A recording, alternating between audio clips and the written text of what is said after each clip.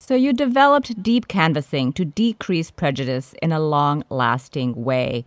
What exactly is deep canvassing and how does it differ from traditional canvassing? It's how do we connect with people who are not just the same as us?